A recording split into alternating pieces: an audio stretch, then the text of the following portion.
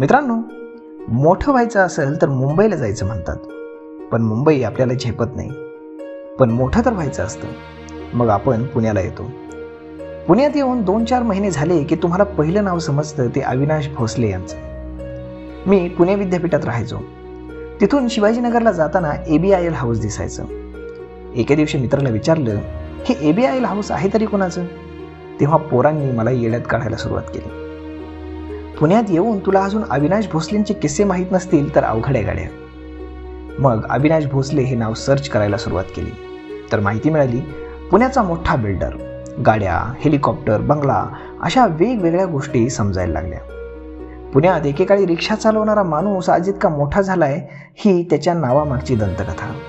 ही story सुरू होते एकोणीसशे त्र्याहत्तर चौऱ्याहत्तर सालात. त्या काळात बारावी नापास झालेला मुलगा संगमनेरहून पुण्यात लक आजमावायला आला. अविनाश निवृत्ती भोसले असं या मुलाचं नाव. पुण्यातल्या पेठेत त्यानं एक रूम भाड्यानं घेतली.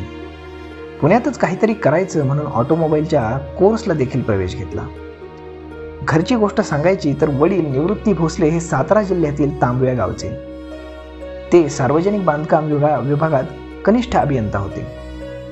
नोकरीच्या निमित्तानं तांब्याचं हे कुटुंब संगमनेरला स्थायिक झालं.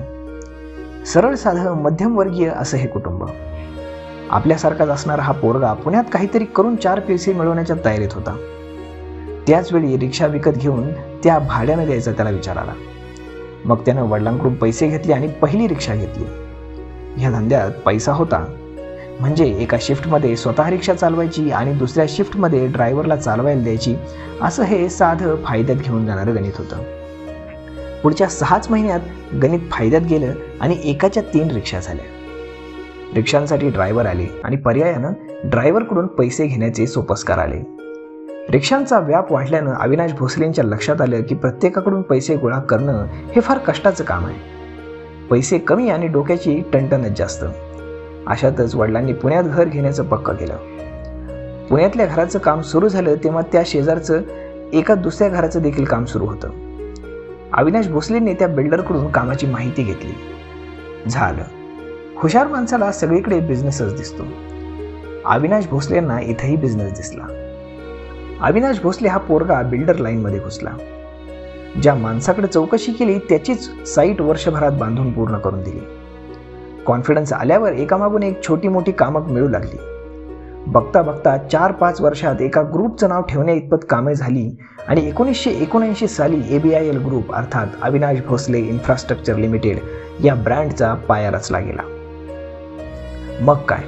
एकामागून एक कामं सुरू झाली. पुण्यातल्या लँडमार्क ठरतील अशा बिल्डिंगचा पाया रचण्याचं काम ए बी आय एल ग्रुपकडनं होऊ लागलं. अविनाश भोसले एका मोठ्या मोठ्या घरामध्ये शिफ्ट होऊ लागले. आणि त्यांच्या श्रीमंत होण्याचे किस्से तिथूनच सुरू झाले. श्रीमंतीचे किस्से सांगायचे तर कृष्णा खोरे महामंडळातील कामाचे सर्वाधिक ठेके हे अविनाश भोसलेंना मिळाले.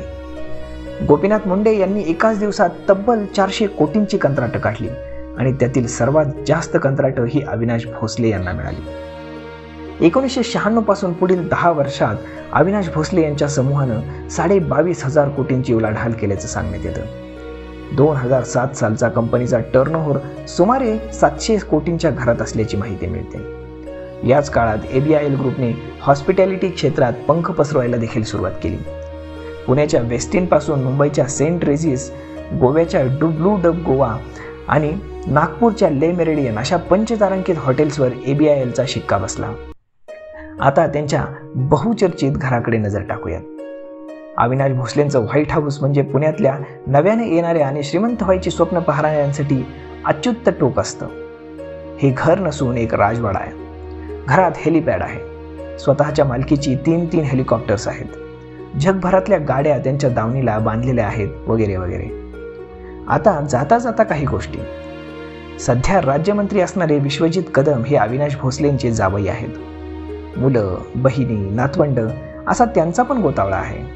मुलगा अमित हा हॉस्पिटॅलिटीमध्ये झेंडा रोवतोय. नाही म्हणायला अधूनमधून अविनाश भोसलेंवर कस्टमने एखाद्या गोष्टीत कारवाई केल्याच्या बातम्या येतात पण त्या तितक्याच गतीनं नाहीशा देखील होत असतात. असंही सांगितलं जातं की महाबळेश्वर येथील त्यांच्या फार्म हाऊसवर सोनिया गांधींपासून सगळेच येतात.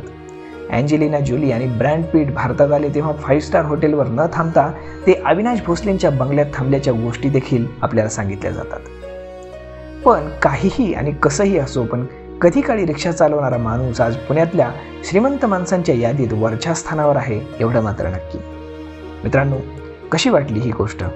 छान वाटली ना? तर मग आपल्या मित्रांसोबत शेअर करायला विसरू नका. धन्यवाद.